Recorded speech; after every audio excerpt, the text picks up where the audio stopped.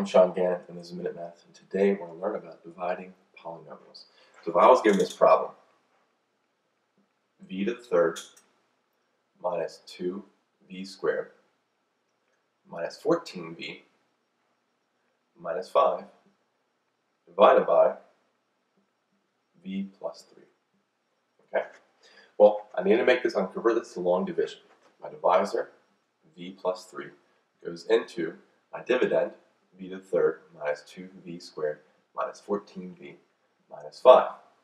Okay? So now I ask myself the question, what times v gives me v to the third power? That's v squared. So v squared is better v. Let's do this. Better v. Well, don't judge me. Don't judge me. Don't judge me. So we have v squared here.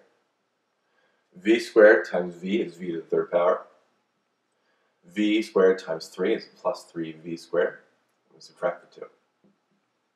Okay? v to the third minus v to the third is 0. Should eliminate. That's great.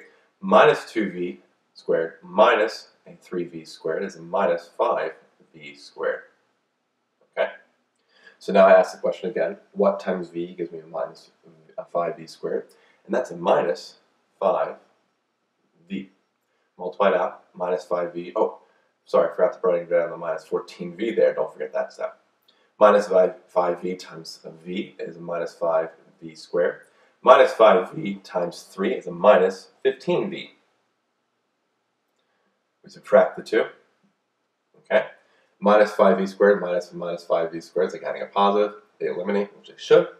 Minus 14v negative 15v is like adding a positive 15v. It's just a positive 1v. Okay? We bring down the minus 5. So let's ask the question again. What times v is v? And that's just 1. Pretty simple. Good old 1. like that. 1. 1 times v is v. 1 times 3 is a positive 3. We subtract the 2. v minus v is just 0. Fantastic. But minus 5 uh, minus 3 is just a minus 8. So that is our remainder, that minus 8. So my final answer here is v squared minus 5v plus 1 minus 8 over my remainder, which is v plus 3. And that is the final answer. So let's recap. We're given v to the third minus 2v squared minus 14v minus 5 divided by v plus 3. We wrote that in long division here. Divisor goes into my dividend. Ask the question, what times v gave me v to the third power? That's v squared. Multiplied to both parts here and subtracted. Got me a minus 5v squared don't forget to bring down the minus 14v. Same thing. What times v gave me a minus 5v squared? That's a minus 5v. Multiply minus 5v to both parts here, and then I subtracted it, giving me just a positive v there. Brought down the minus 5. Again, question, same question again. What times v gives me v, which is just 1. Multiply 1 to both parts and subtract it, and got a minus 8.